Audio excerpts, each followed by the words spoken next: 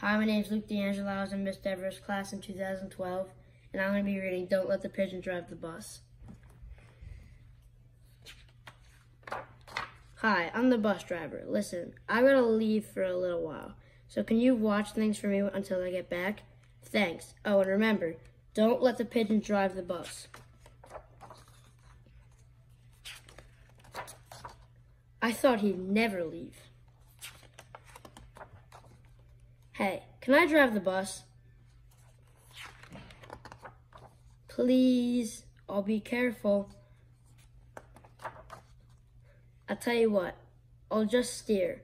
My cousin Herb drives the bus almost every day. True story. Hmm. Vroom, vroom, vroomy, vroom, vroom.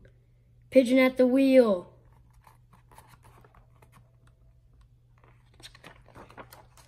No, I never got to do anything. Hey, I've got an idea. Let's play drive the bus.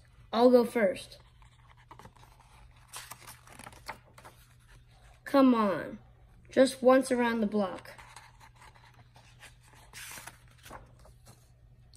I'll be your best friend. How about I give you five bucks? No fair. I bet your mom would let me. What's the big deal? It's just a bus. I've, I have dreams, you know. Fine. Let me drive the bus!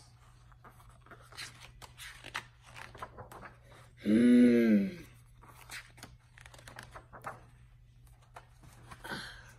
I'm back. You didn't let the pigeon drive the bus, did you? Great. Thanks a lot. Uh-oh. Bye. Hey. The end.